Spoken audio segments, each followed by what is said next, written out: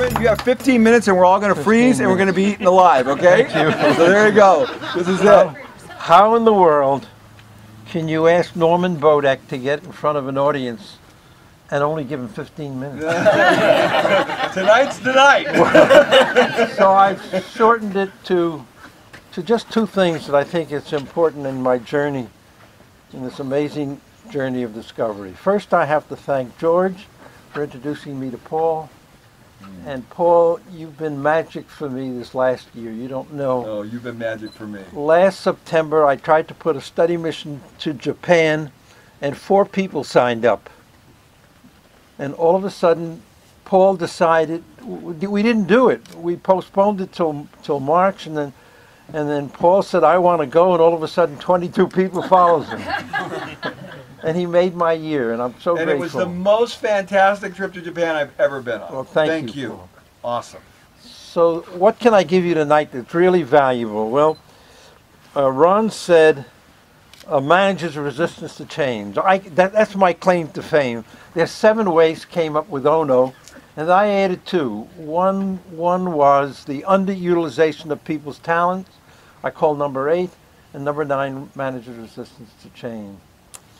And in our trip to Japan, we discovered something I think so fabulous. We went to a company called Mirai. And Mirai has revolutionized the management concepts, really upside down. Here's a company, about a thousand people. Uh, they've never lost money in 50 years. Never in one year have lost money in 50 years. They do everything totally different than anybody else. This year they took all thousand people to Italy. All thousand employees went to Italy on vacation paid for by the company. They do that once every five years. It's amazing, but they have one thing that is so powerful. It's called no horenso. Horenso is a Japanese word meaning spinach. I love it.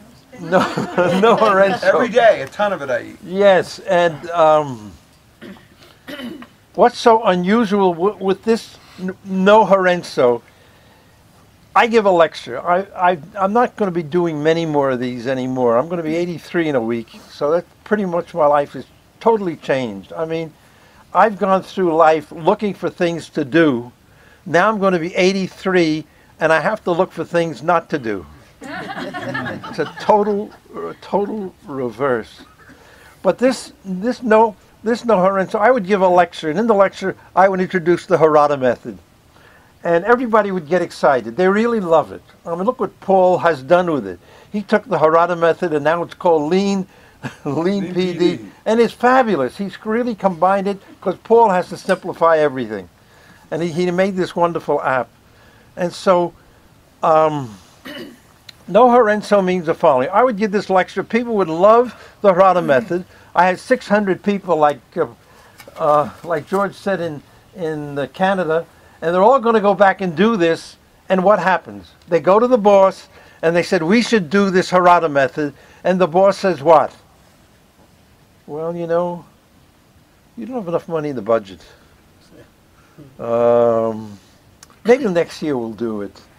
Um, and the brakes or the resistance is there to change. This is a natural phenomenon. I, bel I don't know about you, but in the average company, when people want to do something new and they go to the boss for permission, 99% of the time it's no.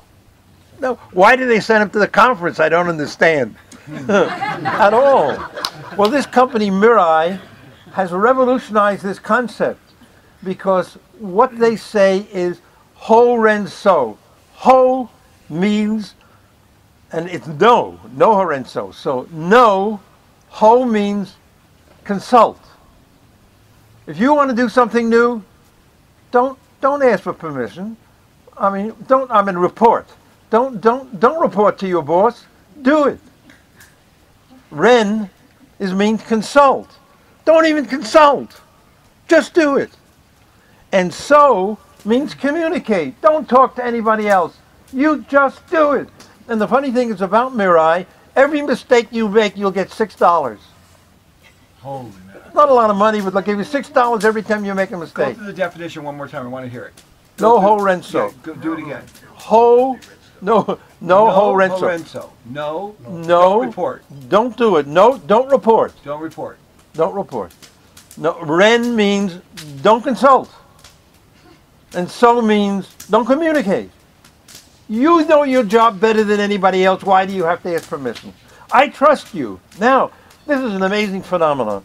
And so far, only one person, which is Daniel's father, who went to Japan Yeah, with us. Yeah, yeah, yeah. Michael? Charles. Charles. Charles. Yeah, yeah, yeah. Yeah. And he picked this up. He's their consultant, and he picked it up right away. Which, which is he's going to take these concepts from this Mirai company, and he's going to put it into his consulting practice.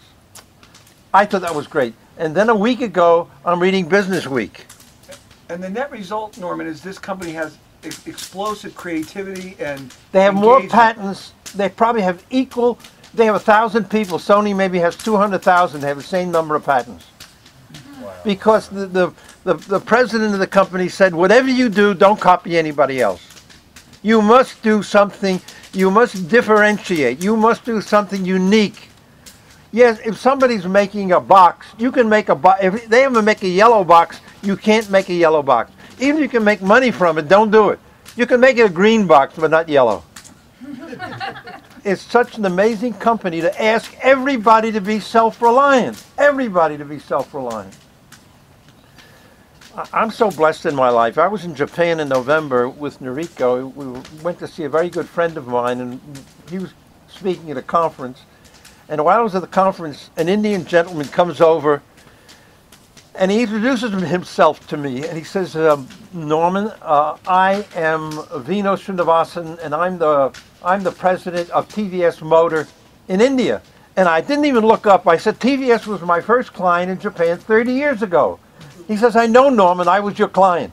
I was so embarrassed, you know, because then I look up and reckon, within five minutes, five minutes, he invited Noriko and me to come to India, business class. Plus, he gave me a very nice fee. The only pro- I had a great trip. The only problem with the trip was Paul wanted to come with me, and he wouldn't let him. And I'm so sorry. Next time. next time, there will be another next time. He's invited me back in December. He's done another I'm thing. open and available.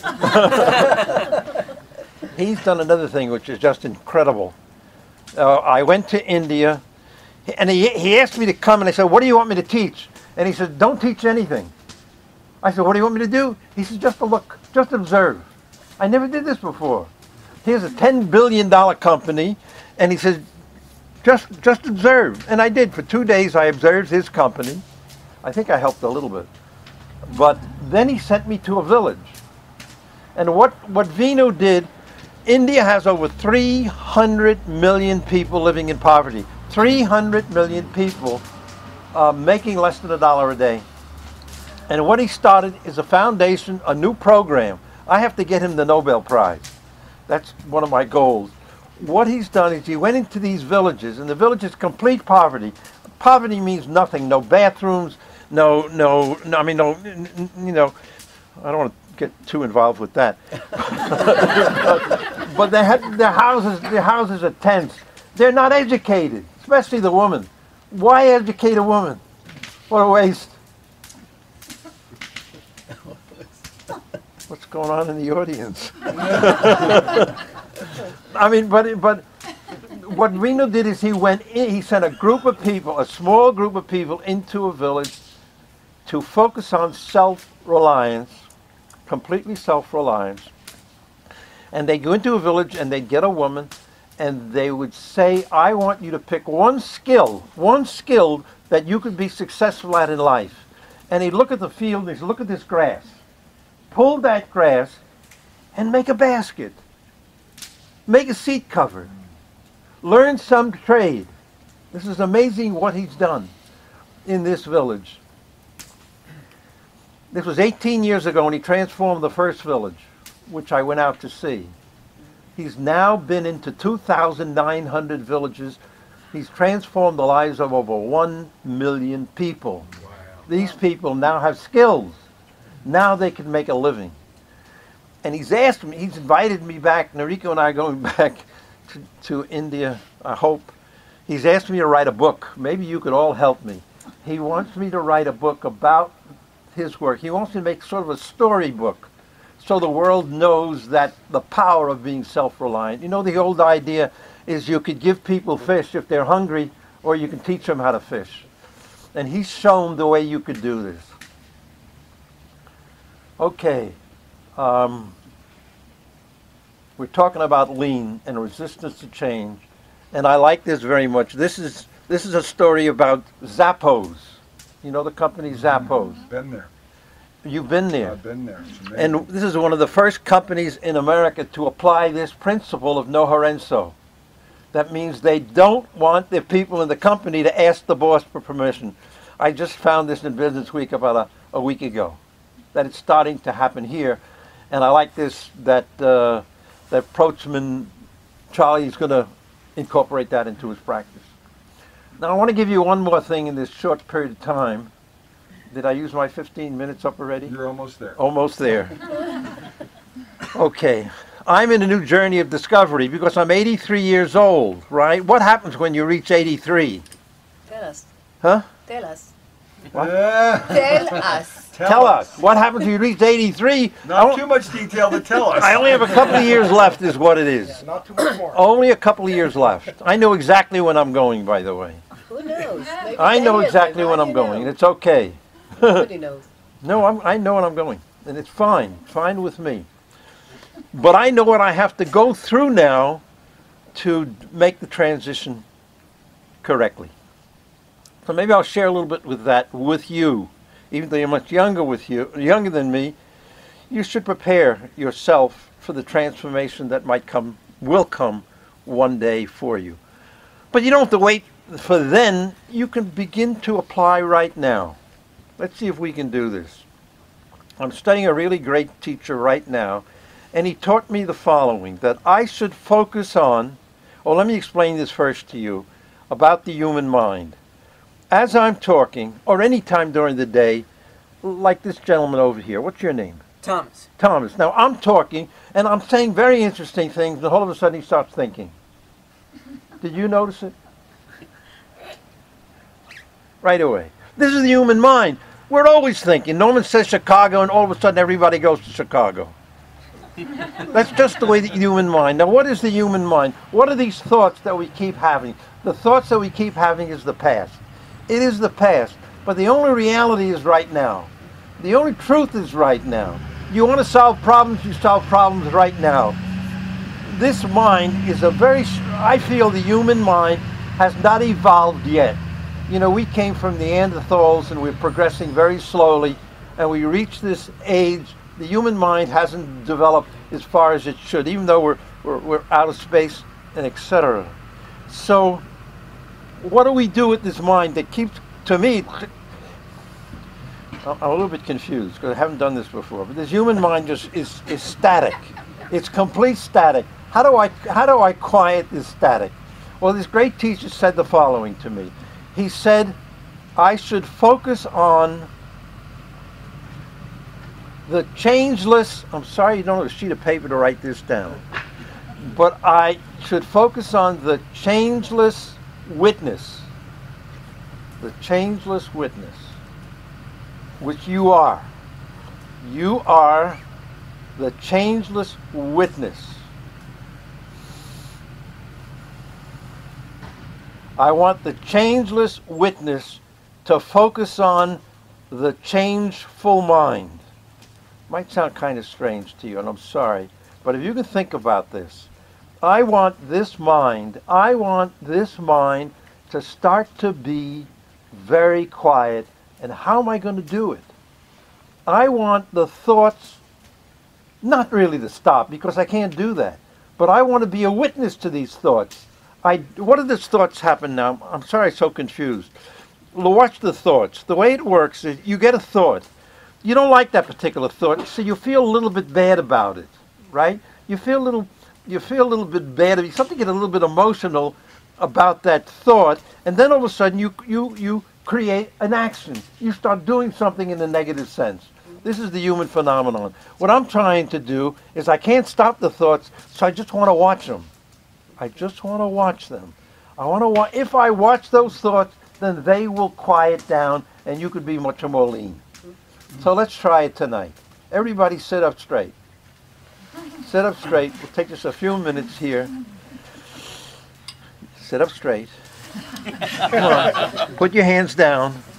I know it's a little cold. Should be at the fire. Just a few more seconds there. Sit up straight. Sit up straight. Straight. Straight. Straight. Okay. Sit up straight. Close your eyes. Close your eyes. Try to go deep, deep inside yourself. You might use your breath to do this, but try to go deep inside yourself. And what you're trying to do is to focus on this changeless witness that you are. You're not that crazy mind. You think you're the mind, but you're not. You're this changeless witness. And you just want to witness the changeful mind that keeps talking. You just want to watch it. That's all. Just want to watch it. Not react to it. Don't agree or disagree. Don't even really listen, but it'll talk so you can't help it but hear it. But don't react to it. And then what will happen in your life? Whatever you need will come through you. Whatever you need will come through you spontaneously. Take a deep breath.